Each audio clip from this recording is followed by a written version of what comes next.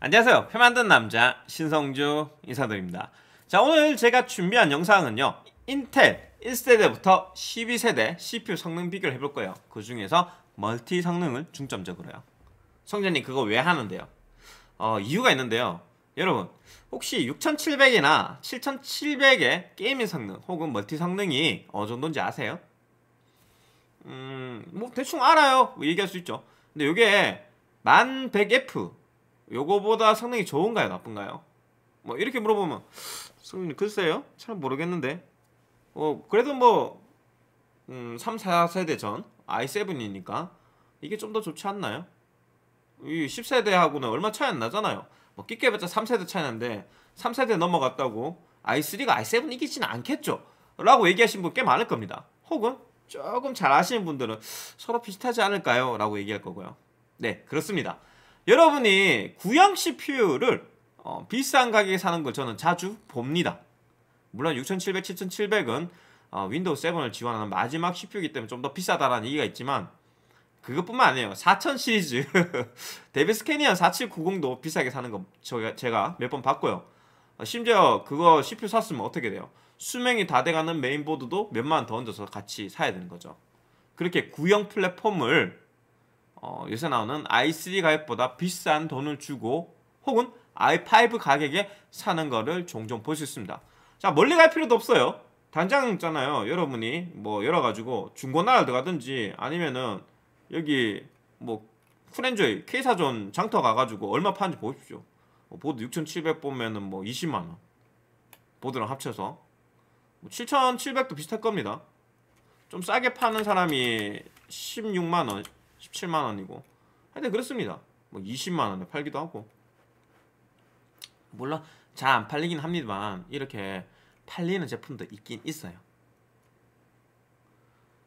뭔 얘기를 하고 싶은데 이렇게 서론이 길어요. 아니 그 i3 그 만백 살 때 실구매가 보드 포함해봤자 16만원 15만원 밖에 안 하거든요. 그 요새 나오는 그 만백 F나 12100F는 좀 비싸긴 한데. 하여튼 그 정도밖에 안 하는데 20만원 주고 구형을 사는 걸 봤다는 얘기야. 할 얘기는요. 그래서 컴니들 위해서 오늘 이 영상을 마칩니다. 중고 구매자를 위한 가이드. 인텔 1세대부터 12세대 성능 비교를 한번 시작해 보겠습니다. 경쟁이 소비자에게 어떤 영향을 끼치는지도 같이 한번 확인해 보면 재밌겠네요.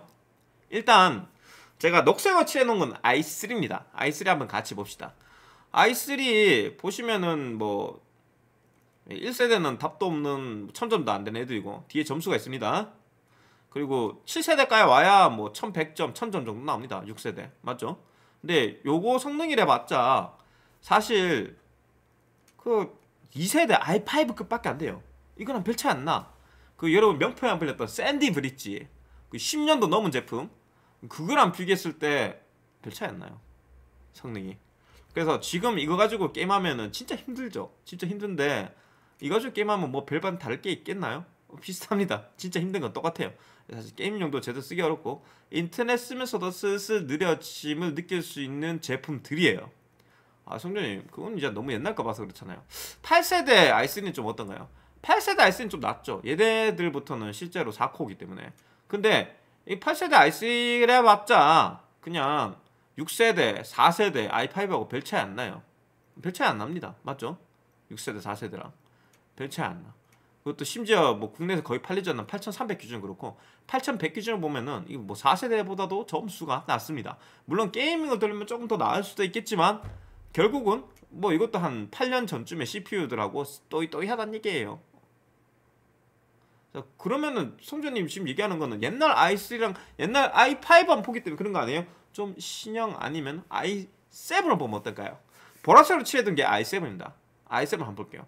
I7 솔직히 뭐 1세대는 답도 없고 자 3세대는 어, 조금 나아지는데 그래도 좀 그렇고 4세대부터는 이제 Devil's Canyon K 버전쯤 되면 기본 클럭이 워낙 높기 때문에 2000점 인근이 나옵니다. 2000점 이래봤자 실제로는 이 9만짜리 CPU 좀 전에 봤던 그 9만짜리 CPU 1100 F보다 못한 성능입니다. 자, 만백 F가 게임 성능 그러면 지는 거 아니에요? 아닙니다. 만백 F 게임 성능 안 져요. 지금 만배 F의 가격은 정품 음, 풀 패키지 기준으로 9만원 정도 하고요 이 메인보드가 한 6만원 7만원 밖에 아니기 때문에 합쳐봤자 16만원이면 사요 16만원에 사거든요 어차피 메모리는 뭐 6세대 7세대랑 똑같은 DDR4 메모리 쓰고요 근데 새거 사는데 16만원에 살 수 있어요 AS 3년 빵빵하게 지원 받으면서 수명에 대한 문제 없이 더 좋은 전성비로 그러니까 전기도 적게 먹는다는 거야. 똑같은 성능에. 단돈 16만이면 살 수 있다는 겁니다. 근데 아까 전에 중고 시세 찾아보니까 어떻게 있나요? 얘네들 가격 막 20만 원이죠. Devil's Canyon도 안 쌀 걸? Devil's Canyon 가격 한번 볼까요? 4790 내 생각에 한 15만 원 줘야 될 것 같은데? 4790 맞네요. 아, 보드 포함해서 한 15만 원. 어 램도 끼워주긴 하네 여기 여기는 23만원. 이거는 이제 그 그래픽카드도 포함되어 있어서 그런 거겠죠?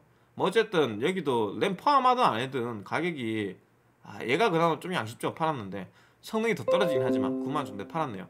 아, 이런 식으로 그 가격이 중고 시세가 별로 제대로 잡혀있지가 않습니다 새거 가격하고 뭐 별 차이 없을 정도 가격에 판매되고 있어요.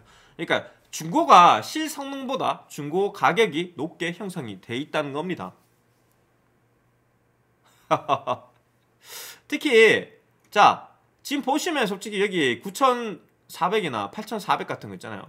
이거 지금 10100하고 별반 차이가 없거든요. 근데 얘네들 중고 가격도 별로 싸게 안 돼 있을 거예요. 이제 8세대 9세대는 중고 가격이 더 떨어 더 안 떨어져 가지고 9400 이런 거 쳐보잖아요. 그러면 얘네 가격도 여전히 비쌉니다. 맞아. 보이죠? 박스프 11만원 판매 완료입니다. 근데 이거 성능이 뭐다? 아까 9만원짜리랑 별반 차이가 없음. 심지어 보드는 중고를 써야 되는데 불구하고. 그러니까 이쪽으로 가도 이거는 사는 게 옳지 않다는 얘기야. 차라리 그냥 이게 낫지. 9600K 가면 너무 비싸지거든요 9600K 사신 분도 좀 있을 거야 아마. 9600K 한 가격 한번 볼까요? 9600K 가격 판매 15만원. 자 저 돈이면은 9600K 성능 얼마입니까? 여기 2만 아 2600점이죠. 2600점인데 12100F 이거 얼마인데요? 이거 실구매가 보시면은 12100F 지금 아마 얼마 전에 품절 가까이 돼가 가격이 오른 건데 불구하고 14만원 정도면 살수 있습니다 14만원 근데 그보다 성능이 훨씬 낮은 9600K가 얼마? 실구매가 얼마? 16만원 아예 K 버전이니까 오버 되잖아요 그 오버 해봤자 얼마 올라갈 것 같아요 이거 따라잡을 수 있을 것 같아요? 힘듭니다 사실 여러분이 지금 중고로 사시는 것들 그 구형이든 아주 구형이든 요새 나온 신형이든 아니면 중간쯤 됐든 지금 나오는 i3 10세대, 12세대 제품을 못 이겨요. i5급부터는 못 이깁니다. 그나마 한두 세대 전 i7쯤 돼야 이런 8700 이쯤 돼야 8700 normal이 지금 i3 12100F랑 비슷합니다. 근데 8700 사면 얼마 줘야 돼요? 8700 가격 볼까요? 답도 없을걸? 한참 비쌀 텐데 아직 8700 8,721만원. 뭐 K버전에서 좀 더 비싸겠죠. 노마 같은 경우는 한 17만원 정도 하겠네 그렇습니다. 여러분 생각과 다르게 중고 가격이 싸지가 않아요. 이렇게 된 데는 뭐 AMD 큰 역할을 한 게 있긴 한데 그건 이따 설명하기로 하고. 어쨌든 보시다시피 이 i3 11100F 단돈 14만짜리 이기려면 14만짜리 이기려면 1600K급 정도 가야 돼요. 그래야 이겨. 아니면 8700K를 가든지. 근데 이 정도 가가지고 확실히 이겼다 하고 쓰기에는 가격 차이가 너무 심해. 1600K나 8700K는 중고 가격이 20만원대는 되기 때문에요. 사실 20만원이면은 그냥 12400F 사고 말지. 12400F 얼마인지 볼래요? 8700K 가격은 여기서 봤으니까 21만원. 12,400 한번 봅시다. 자 12,400F는 22만원입니다. 22만원. 22만원이요. 물론 다나와 채색가라서 실구매가는 좀 다를 수 있다 그러는데 어차피 중고로 살 때 여러분 세금 계산서 봤으니까 못 봤잖아요. 그럼 현금으로 박는 건 똑같단 말이에요. 현금 사면 저가게 살 수 있어요. 현령이나 세금 계산 이런 거 안 떼는 몰은 저가게에서 실제로 판매를 합니다. 결국 실구매가가 차이가 좀 있어요 신형이고 성능이 더 좋은데 이런 예를 구형도 있잖아요. 성능 택도 없이 밀린 애들 이런 애들하고 가격이 똑같이 되어 있다는 겁니다. 그러니까 내가 맨날 중고 사지 말라 그런 거야. 근데 내가 중고 사지 말라고 하니까 그러더라고. 야 신성조 저거 이거 응? 컴 파는 놈이니까 새거 팔아먹으려고 수 쓴다 그러는데 아니라니까. 그거 아니에요. 내가 또 이 얘기하면 아 보드는 더 싼데요 8700이나 8700K 보드 더 싼데 이럴 텐데 전성비 떨어지고 보드는 지금 더 싸지만 중고 사면 뭐다? 수명이 얼마 안 남아있겠지. 그냥 수명까지만 그 가격이 내려갔다 봐야 되는 거예요. 그런 겁니다.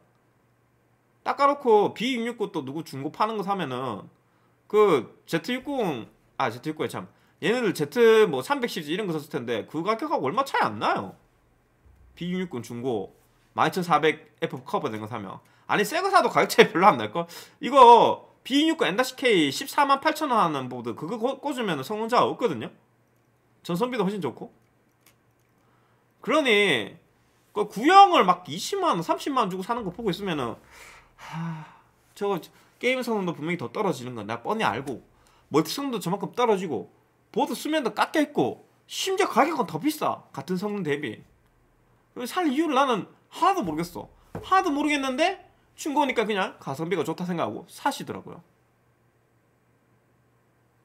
특히 최근 10세대, 11세대, 12세대 오면서 11, 12 혹은 10하고 12는 엄청난 차이를 보입니다. 왜 그러냐면은 인텔이 여유 좀 부리다가 잘 보세요. 이게 1년하고 한 4개월, 5개월 전쯤에 나오는 CPU인데 그러니까 2년 전쯤에 나왔죠. 5950. 5950이나 5900, 5600이 엄청나게 좋은 성능이 나와버리는 바람에 인텔이 10세, 11세대, 11세대까지는 여기서 놀다가 갑자기 여기까지 뻥튀기 된 거예요. 지금 이 한 칸당 1000점입니다. 밑에 칸이 넓은 거 이거는 다 집어넣는다고 넓어진 거고 실제로 이 한 칸당 성능이 이만큼 차이 나는 건데 갑자기 여기 있던 게 4칸이 뛰었어. 보이죠? 4칸이 올랐습니다. 4칸 오른 적 있나요?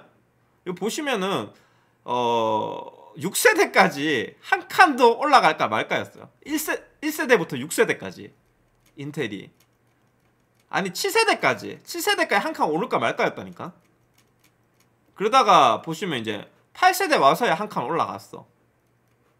그리고 9세대 때 또 한 칸 올라가고 그러다가 갑자기 10에서 12세대 오니까 4칸이 올라가. 4천점이 증가했다는 소리야. 이래서 경쟁이 필요한 거예요. 경쟁을 안 할 때는 인텔은 그냥 막 6세대, 7세대까지 다 또이또이한 성능을 내놨습니다. 보시다시피 i3는 i3 색깔끼리 밀집돼 있고 i5는 i5까지 밀집돼 있고 i7 보라색은 보라색까지 밀집이 돼 있었죠. 언제까지? 7세대까지. 이때는 경쟁이 안 됐거든. AMD가 똥 싸고 있을 때거든. 그러니까 그냥 잘 해먹은 거지. 4코어짜리 제일 좋은 CPU라고 계속 내놓으면서. 근데 소비자는 또 선택 여지가 없으니까. 비싼 가격에 별로 발전도 없는 인텔 CPU를 계속 사줬던 거고. 그러다가 AMD가 제대로 힘을 내기 시작하니까 어이쿠 뜨거워! 이러면서 갑자기 발 빠르게 이렇게 성능을 팍팍팍 올렸습니다. 인텔이 기술력이 없던 건 아니었거든요. 그냥 경쟁 상대가 없고 독점을 하고 있으니까 여유를 부렸던 것 뿐이지. 일부러 성능 안 올리면서 돈은 최대한 뽑아먹는 기업적인 이윤을 추구하고 있었던 거죠. 그리고 또 솔직히 싹, 딱 까놓고 아까 내가 20만 원에 뭐 9,600그 보드 합치면 그 정도에 사거나 아니면 CPU랑 보드 합쳐서 거의 30만 원 돈에 8,700K 사는 걸 별로 추천 안 하는 게 여러분 5600X에 B450 보드나 아니면은 EX-A320 이런 거 꽂았으면은 실력 구매가가 35만 원 미치예요. 32에서 뭐 35만 원 사이입니다. 그러면은 이거보다 훨씬 게임 성능 좋고 멀티 성능도 좋은 5600을 살 수 있어요. 이건 아직도 팔고 있죠.